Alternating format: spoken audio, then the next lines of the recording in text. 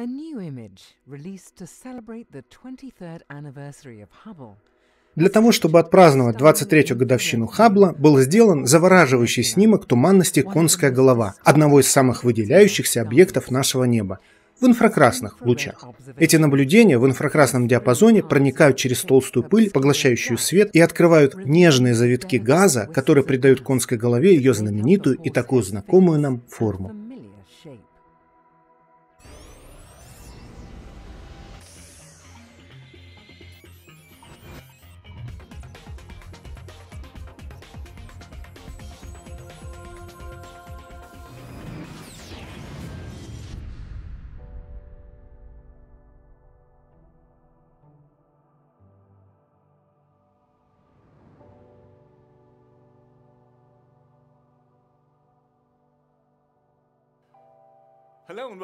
Привет и добро пожаловать в еще один эпизод Хабблкаста.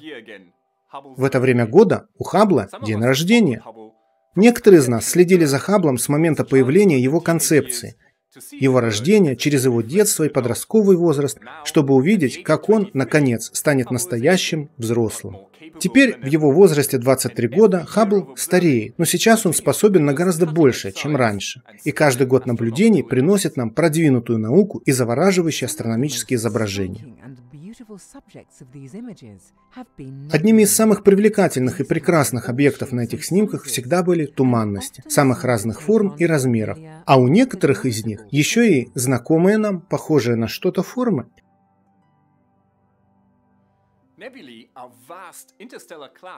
Туманности – обширные облака газа и пыли. Существует множество типов туманности, которые могут принимать разнообразные формы и виды.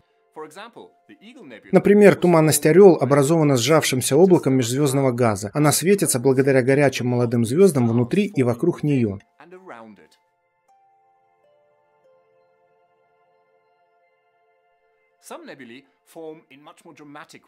Некоторые туманности формируются значительно более драматично. Так, например, как туманность улитка, результат того, что когда-то звезда солнечного типа сбросила свои внешние слои. Или, например, крабовидная туманность, которая представляет собой останки массивной звезды, взорвавшейся в 1054 году.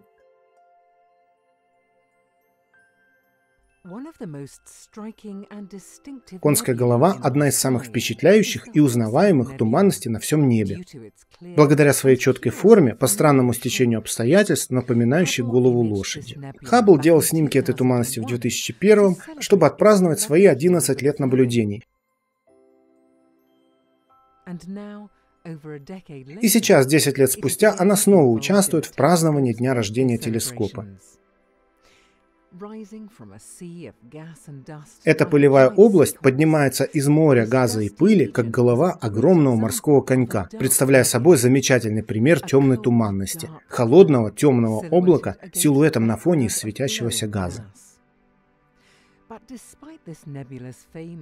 Но, несмотря на популярность туманности, новый снимок Хаббла буквально показывает ее в новом свете.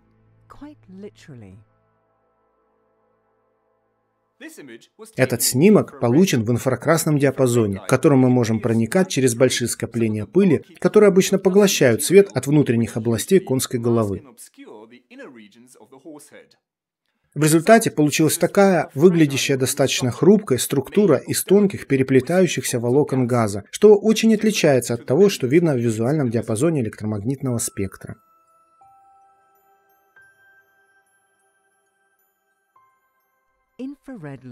Длина волны инфракрасного света больше, чем у видимого. Мы не можем увидеть этот свет глазами, поэтому для этого у нас есть инфракрасные телескопы и приборы, такие как камера широкого поля 3 телескопа Хаббл.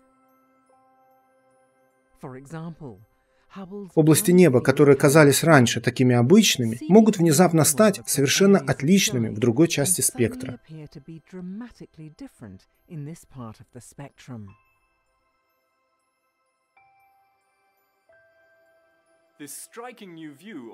Этот замечательный новый взгляд на туманность конская голова стал достойным празднованием невероятных 23 лет работы космического телескопа Хаббл.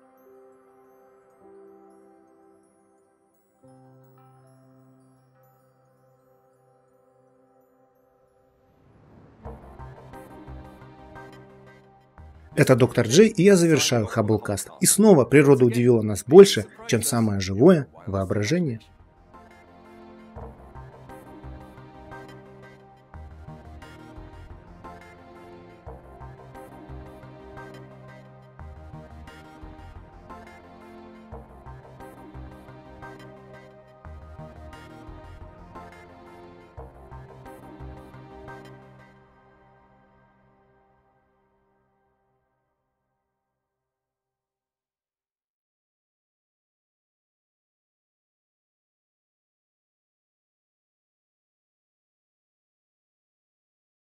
Now that you've caught up with Hubble, make sure to get the latest from the ground too. The ESOcast highlights the best of the European Southern Observatory and its powerful telescopes that observe from high in the Chilean Andes, at the Southern Hemisphere's best known sites for astronomical observations.